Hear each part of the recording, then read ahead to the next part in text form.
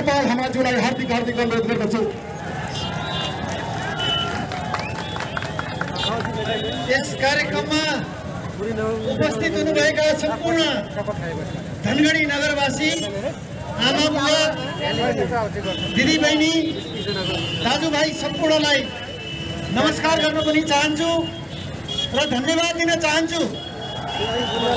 यो यो खालि हाम्रो प्रयासले मात्रै सफल भएको होइन।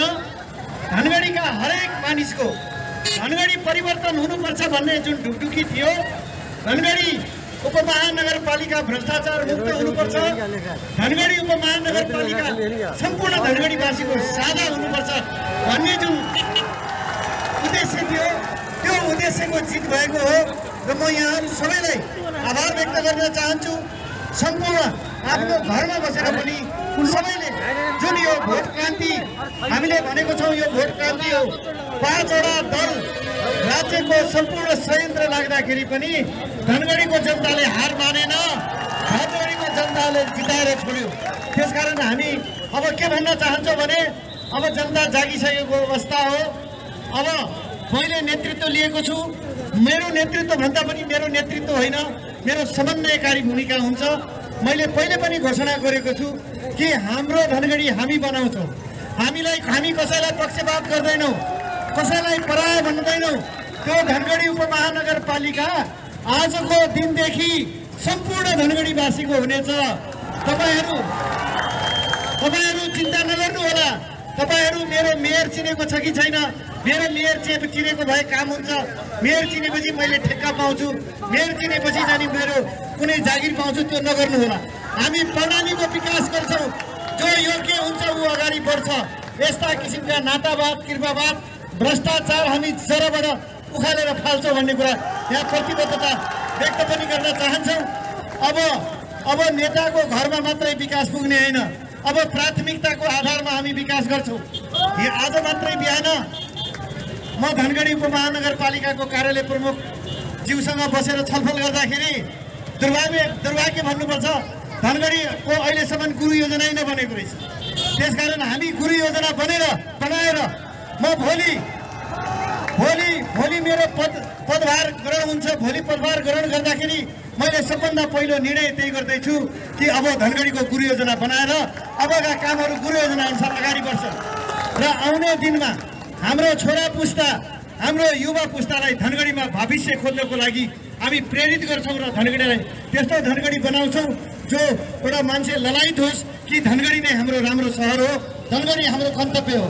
त्यसकारणले यहाँ जति पनि उपस्थित हुनुभएको छ यहाँहरूले मलाई जुन विश्वास गर्नुभएको छ म यो विश्वासमा कुनै पनि हालतमा डगमगाउने छैन।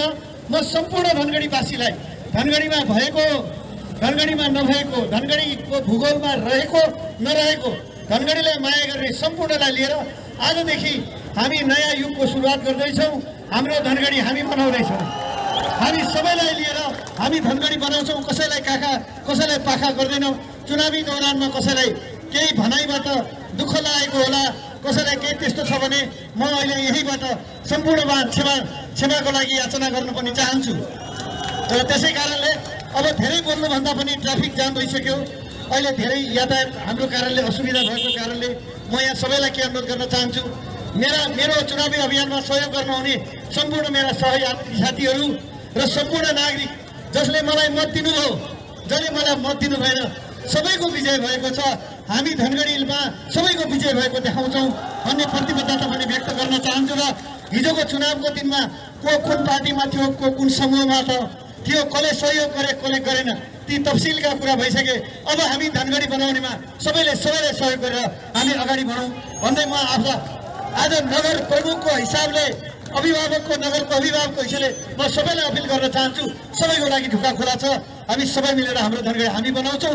यो कार्यमा हाम्रो सफलता मिलेछ भन्दै म पूर्ण रूपले इमान्दार भएर भ्रष्टाचार अन्त गरेर म एउटा वाट्सएप नम्बर पनि दिन्छु पछि तपाईँहरू सबैलाई यदि कसैले काम ढिलो गरेको छ यदि कसैले पैसा खाएको छ भने त्यसैबाट त्यसमा मेसेज गर्ने मैले समात्छु मैले समात्छु अब अब भ्रष्टाचारी उपमहानगर महानगरपालिकाको भ्रष्टाचारीलाई अब अख्तियारले खोज्दैन मेयरले चाहिँ अख्तियार बोलाएर समाप्त लाउँछ। मेरो प्रतिबद्धता भयो यहाँ भने अब यति भन्दै यहाँहरू आइदिनु भयो जुन हौसला बढाउनु भयो र मलाई जिम्मेवारी बोध गराउनु भएको छ त्यसको लागि म आभार प्रकट गर्दै यहाँहरूप्रति यहाँहरूप्रति म मुरी मुरी धन्यवाद दिँदै यो कार्यक्रम यही समापन भएको जानकारी गराउन चाहन्छु। धन्यवाद। नमस्कार। जय धनगढी